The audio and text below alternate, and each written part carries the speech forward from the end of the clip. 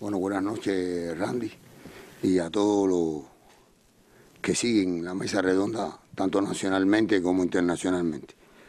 Hay que decir que con la noticia que ha dado el ministro de Transporte y además con el comportamiento de los indicadores de la COVID en la mayoría de nuestras provincias que han alcanzado la fase de nueva normalidad, eso permite aquí anunciar que se eh, extiende la operación turística internacional hacia todas esas provincias que hoy se encuentran en esta etapa de nueva normalidad.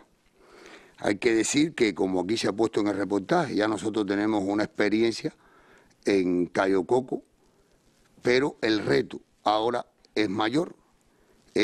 Ya estamos en conversación con las diferentes líneas aéreas, que es lo más importante, o sea, reanudar eh, los flujos con las líneas aéreas y a partir de ahí comenzar la operación internacional en estos destinos. Hay que decir que esta apertura será gradual, será en función de la demanda.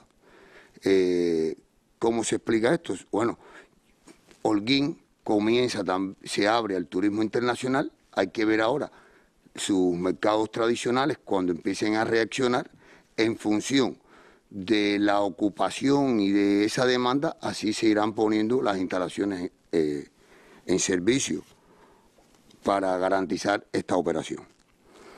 Eh, en, este, en este momento, al aeropuerto de Cayo Coco, solo en los aviones, eh, solo pueden venir pasajeros que vengan a hacer turismo.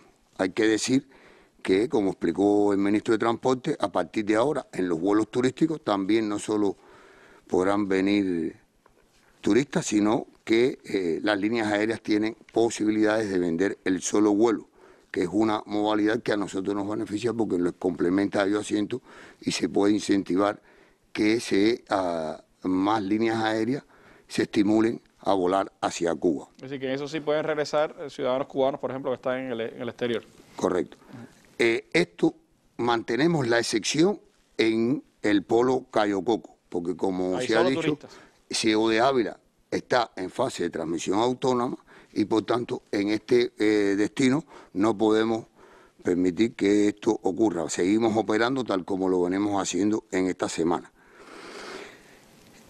Nos gustaría explicarle a todos que en los protocolos que hemos establecido, y como se dijo en otros momentos, en otras mesas redondas, a todos los viajeros, sean nacionales, turistas o eh, de otra categoría migratoria, se les va a hacer un PCR.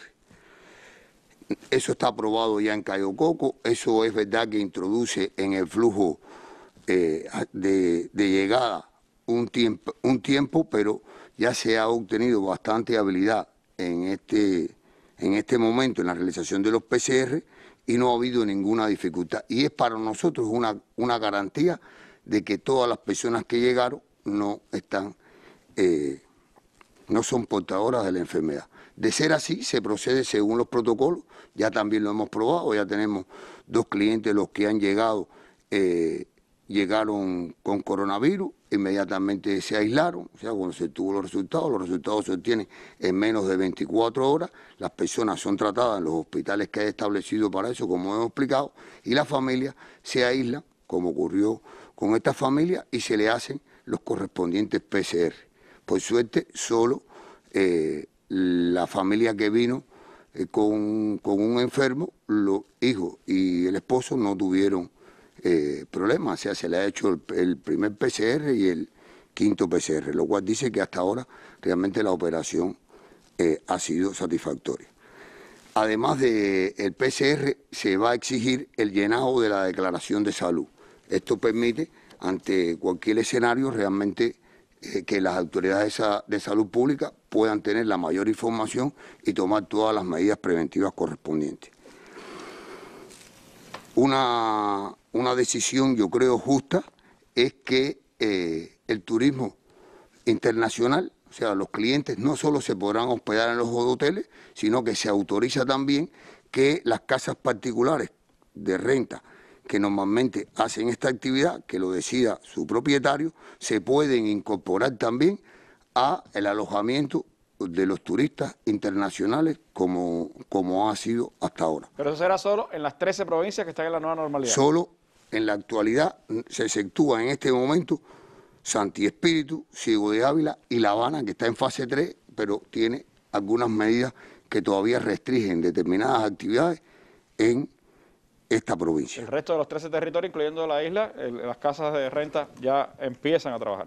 Hay lugares muy atractivos como Espinas del Río, Viñales, Viñales eh, que realmente pueden comenzar el alquiler eh, de las viviendas para turismo internacional. Hay que decir que ya nosotros veníamos haciendo y hemos hecho durante este verano turismo nacional. Sí. Turismo nacional que eh, podemos decir que ha tenido un buen comportamiento, que ha demostrado que los protocolos de, que hemos aplicado son positivos, son buenos y también eh, nosotros autorizamos que determinado volumen de personas que lo quisieran, de casas particulares, también ofrecieran este servicio.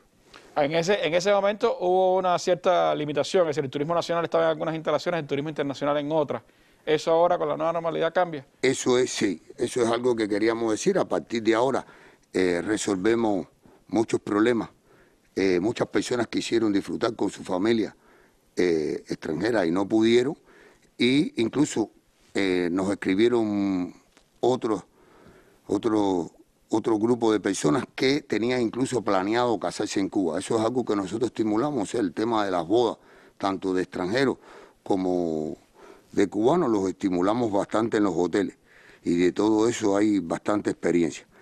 Bueno, ya con esto se resuelve, pueden coincidir en el disfrute de nuestras instalaciones, tanto turistas nacionales como internacionales.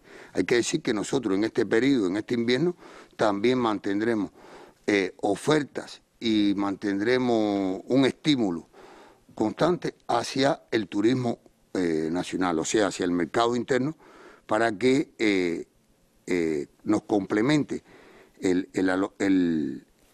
la ocupación en las instalaciones. O sea, ese es un, mercado que, que, no podemos renunciar a él en ningún momento. Y además, como hicimos en este verano, continuaremos sus ofertas, le continuaremos eh, potenciando y dándole la mayor calidad que podamos en nuestras instalaciones. Hay que decir que también abrimos las comercialización de las excursiones hacia todos los territorios que se encuentren en la normalidad, o sea, como se ha autorizado la transportación interprovincial, nosotros en territorios que están en diferentes, eh, en, esta, en esta etapa, en la normalidad, eh, activaremos las excursiones. La de Varadero se podrá ir a Matanza y se podrá poder ir a otras provincias. Hay una excursión muy atractiva que es la de Trinidad. La ciudad de Trinidad es una actividad, es una ciudad turística muy, muy bien colocada internacionalmente, que en este momento, al encontrarse en fase de transmisión, hasta que no lleguen a la nueva normalidad, hacia esa ciudad no se podrá hacer eh, circuito. ¿Habrá excursiones desde La Habana? La Habana, a partir de que se autorice el día 19, también los habaneros podrán hacer excursiones hacia los otros eh, territorios que se encuentren en la normalidad. En el caso de Cayo Coco, Cayo Cruz y Cayo Guillermo, como eh, de Ávila se encuentra también en fase de transmisión, en este caso no habrá excursiones hacia otros destinos. Lo mantendremos como hasta ahora, las excursiones solo en eh, los callos donde se encuentran alojados. Hay que decir que esto se ha hecho durante esta etapa, desde el 4 de septiembre. Hay oferta, hay variedad y hay satisfacción de los clientes, como lo hemos podido ver en eh, el video de, de. También se reanudan las marinas internacionales con la información que ha dado el ministro. Esto nos permite a nosotros reactivar las marinas internacionales en todos los territorios que se encuentran declarados en la normalidad y se reactiva la venta de la renta de autos. O sea, eso sí es importante, al, reactivarse el turismo internacional nosotros tenemos que garantizar todos los servicios. Ya hemos dicho que hay movilidad, interprovincial, que la gente pueda hacer excursiones, que pueda salir. El mercado interno podrá hospedarse en los callos, en los callos que estén situados en territorios que estén en la nueva normalidad. O sea, que nosotros, Santa María. con esto se reabre también que el mercado interno puede empezar a ir a Cayo Santa María y a Cayo Largo, hasta que en Cayo Coco se llegue igual a, la- a esta fase de nueva normalidad que también lo abriríamos al mercado nacional. En todo el territorio que esté en nueva normalidad se restablecen las jornadas laborales. Eh, habíamos explicado que uno de los protocolos que hemos seguido en Cayo Coco es que eh, los trabajadores tienen diferentes jornadas laborales, pero más extendidas que, la- que las normales, y otros regímenes de trabajo. Incluso están en condición hoy de albergamiento. Esto se eh, resuelve al llegar a la nueva normalidad, los trabajadores van y vienen todos los días a su vivienda. ¿Y a ellos? y la- y- y están en las jornadas laborales que tenemos establecidas norm- normalmente en la actividad turística.